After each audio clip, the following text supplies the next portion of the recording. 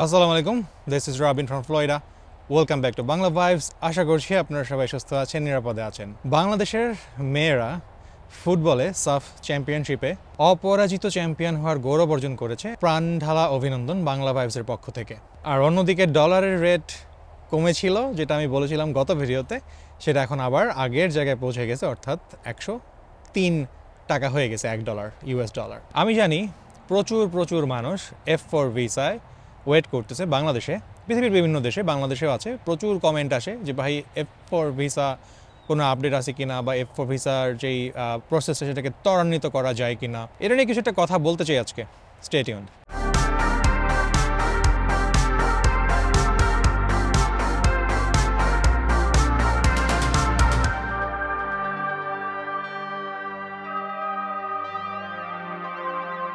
আচ্ছা প্রথমত আমাদেরকে বুঝতে হবে যে এফ ফোর ভিসা কিন্তু আনলিমিটেড ভিসা না। প্রতি বছর যে এই ভিসাটা যে ইস্যু করা হয়, সেটার একটা ক্যাপ আছে, একটা লিমিট আছে। আমি সেই লিমিটটা স্ক্রিনে দিয়ে দিচ্ছি নিচে, আপনারা দেখেন।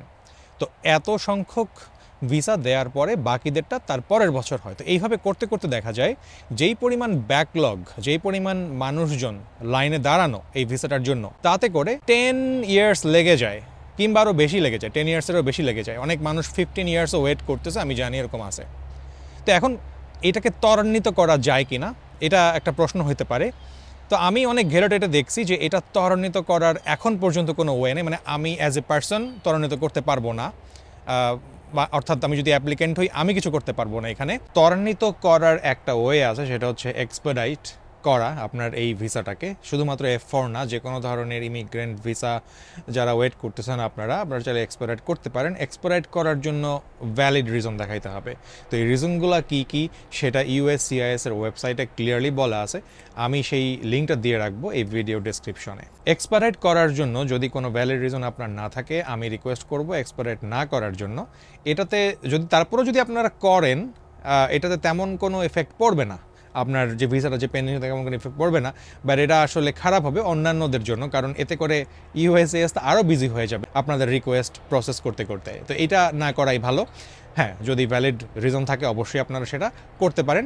লিঙ্কে বিস্তারিত বলা আছে, আপনি সেটা দেখবেন। এই যে ইউএসসিআইএস বা এই গভর্নমেন্ট তারা চাচ্ছে যে এই জিনিসটাকে আরও ত্বরান্বিত করার জন্য, এই কারণে তারা লোক নিয়োগ দিচ্ছে বেশি করে এবং ভিসার ক্যাপ যে প্রতি বছর সেটাকে বাড়ানোর একটা উদ্যোগ নেওয়া হয়েছিল প্ল্যান করা হয়েছিল, উদ্যোগ বলব না প্ল্যান করা হয়েছিল, সেটা এখনও আপডেট আসে নাই আর কোনো এরপরে বাট এটা হবে, হতে বাধ্য, কারণ প্রতিনিয়ত এই নাম্বারটা আরও বাড়তেছে এবং এটা হিমশিম খাচ্ছে ইউএসসিআইএস প্রসেস করার জন্য।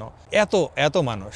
তো এখন তাহলে যারা ওয়েট করতেছে বছরের পর বছর, বছরের পর বছর, তারা কীভাবে আমেরিকায় যাবে? তাদের দেখা যায় যে অনেক ফ্যামিলি মেম্বার অলরেডি আমেরিকায় আছেন। তারা চাইলে ট্যুরিস্ট ভিসায় আমেরিকা ঘুরে আসতে পারেন। ট্যুরিস্ট ভিসার আবেদন আপনারা করতে পারবেন। এফ ফোর ভিসা পেন্ডিং থাকা অবস্থায় এটা পসিবল বর্তমানে বাংলাদেশ থেকে যদি আপনি ট্যুরিস্ট ভিসার আবেদন করেন, তাহলে প্রায় ফাইভ হান্ড্রেড ডেইজের মতো লাগে ইন্টারভিউ স্কেজুয়াল পেতে। অর্থাৎ প্রায় দেড় বছরের মতো লাগে। এখন আপনি যে ট্যুরিস্ট ভিসার জন্য আবেদন করবেন, এটা কি অ্যাপ্রুভ হবে?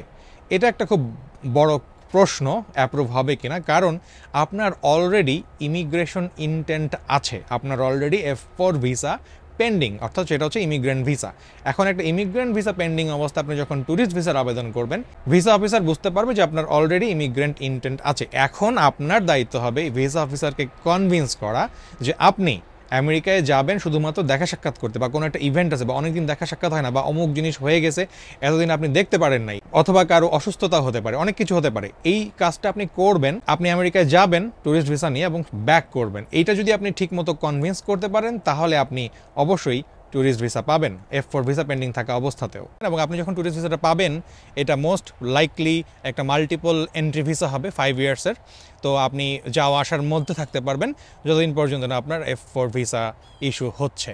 তো এই জিনিসটা আপনারা করতে পারেন, যাদের আপনাদের এফ ফোর ভিসা পেন্ডিং তারা। এর বাইরে আর কোনো ওয়ে আমার কাছে জানা নাই। আমি এক জায়গায় একটা আর্টিকেল দেখেছিলাম যে অনেকে বলতেছে যে অনেকে সু করে ইউএস ইউএসসিআইএসকে সু করে যে এত দেরি লাগতেছে কেন? আমেরিকান গভর্নমেন্ট সেই সাথে ইউএসসিআইএস খুবই চেষ্টা করতেছে ভিসা প্রসেসিং ত্বরান্বিত করার জন্য, লোক সংখ্যা বাড়াচ্ছে, একটু আগে যেটা বললাম আপনাদেরকে। বাট এর মানে এই না যে হঠাৎ করে সব কিছু চেঞ্জ হয়ে যাবে, এটা হইতেও সময় লাগবে। ওরা চেষ্টা করতেছে ইন্টারভিউ সংখ্যা বাড়ানোর জন্য, এক দিনে যেখানে তিরিশটা ইন্টারভিউ হইতে এখানে চেষ্টা করা হচ্ছে একদিনে সিক্সটি ষাটটা ইন্টারভিউ নেওয়ার জন্য, দ্বিগুণ করার জন্য। তারপর হচ্ছে লোক সংখ্যা বাড়ানো হচ্ছে যাতে বেশি সংখ্যক লোক ইন্টারভিউ নিতে পারে প্রসেসিংয়ের কাজ করতে পারে। এটা একদিনে রাতারাতি চেঞ্জ হয়ে যাবে না বাট এটাতে কাজ চলতেছে এবং ওই যে বললাম, কাজ করতে ওরা বাধ্য। ওরা এটা করতে বাধ্য, ত্বরান্বিত করতে বাধ্য, লোক সংখ্যা বাড়াতে বাধ্য ক্যাপও বাড়াতে বাধ্য। এর কারণ হচ্ছে এত বড় একটা backlog millions of people pending লাইনে দাঁড়ানো। আপনি একা নন। তো এই ছিল আজকের ভিডিও সম্ভবত খুব বেশি গুড নিউজ আপনাদের দিতে পারি নাই। অনেক জায়গায় অনেক রকম ভিডিও মানুষজন দিচ্ছে। বলতেছে এই সেই আসলে এমন কিছু না, তেমন কোনো আপডেট আসে নাই এফ ফোর ভিসা আগের পজিশনেই আছে বাট আপডেট যদি আসে কখনো, যদি কোনো গুড নিউজ পাই যে ত্বরান্বিত হইতেছে, অনেক ফাস্ট প্রসেস হবে ক্যাব বাড়ানো হয়েছে, এরকম যদি হয়, অবশ্যই আপনারা জানতে পারবেন। সবার প্রথমে জানতে পারবেন আমাদের গ্রুপে যারা এখন আমাদের গ্রুপে জয়েন করেন নাই এই ভিডিও ডেসক্রিপশনে লিঙ্ক দেওয়া থাকবে। আমার ফেসবুক পেজের লিঙ্কও দেওয়া থাকবে, আপনারা লাইক দিবেন। আর যারা ভিডিওটা আজকে নতুন দেখছেন, অবশ্যই একটা সাবস্ক্রাইব করবেন আমাদের চ্যানেলে বাংলা ভাইবস এই ছিল আজকের video this is Robin from Florida signing off সালাম আলাইকুম।